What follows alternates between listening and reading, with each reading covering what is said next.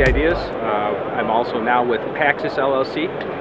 CIDEAS is a service bureau. We've been around for about 20 years, and we decided to develop a online quoting engine. So I hired a programmer full-time. He came in and developed an extremely beautiful quote engine that's uh, able to look at all the different processes. It was so nicely done that we decided to commercialize it. And in the process of creating the dashboard back end of this TrueQuote software, he uh, called me into the office, and it was in regards to a problem that we've been having with trap volume parts within the SL and SLA process, as well as PolyJet and DLP-based processes.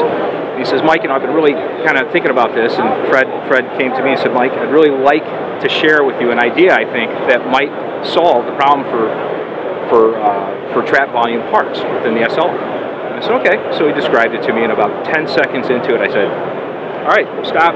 That's it we're starting a new company, we're developing this, here's my credit card, buy whatever it takes. So uh, over the course of about two year period, he, we, together, we helped develop this machine. And what we believe is that this is going to answer a lot of the problems that are currently existing within vat-based polymerized systems as well as jetted systems. And one of the unique features and attributes to it is based on the way that we deploy the resins. We think that resins that haven't been able to be used in current systems can now be redesigned, re-engineered, and utilized in this system.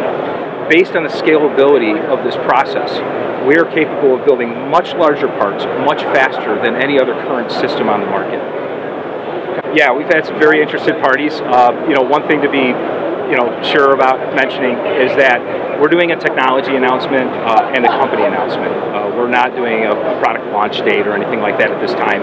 Uh, you can go to paxis.com in order to sign up for updates. Uh, but what our interest at this point is is we've been able to fund and bring this product product as far along as we have, including uh, four rounds of patents, trademarks, obviously marketing, website, and the product itself uh, our Gen 1 and our Gen 2 product. And what we're doing is we're now hitting that roadblock in which we're starting to seek funding from material development companies, from OEM OEM companies that want exclusive rights to it for a period of time, as well as technology grants. So this is a perfect venue for us to be able to announce our technology it is going to raise awareness for our company. Uh, but one of the unique features about being at Rapid, which I've been coming to since 2006, is that the, the amount of, valuable resources within this community is allowing us to be able to go around and reach out to these companies that might have interest in this product. We've been very, very selective on who we bring in. In fact, that's one of the features about this is the industry experts that are in, within this organization as well as AMUG. Uh, we've hand selected about 10 or 12 what I consider to be the best of the best of the industry to come out under NDA and actually see the product run. Everybody has been blown completely away. Uh, I think that what the first thought that comes to their head is, oh my gosh, how does someone else not come up with this already? Um, because it is a fairly simple in concept process, uh, but that also opens the doors to being very expandable and scalable. One of the things about being an end user is we were, I was able to identify immediately the the, the, gravity of the invention that Fred had come to me with. Uh, I think that the, the concept behind it was simple enough where I think a lot of people would have glossed over it.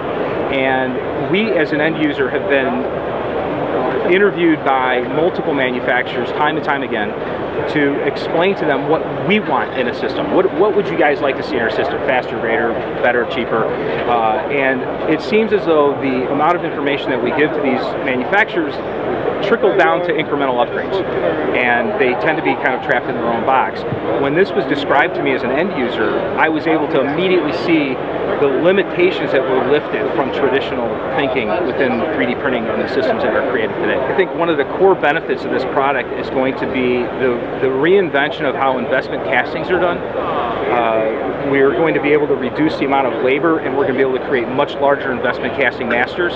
Also, we're not going to be limited to clear resins and as a result of that, they can be re-engineered specifically to the burnout that they want. Ceramics, hybrid, and custom materials are going to be completely rethought.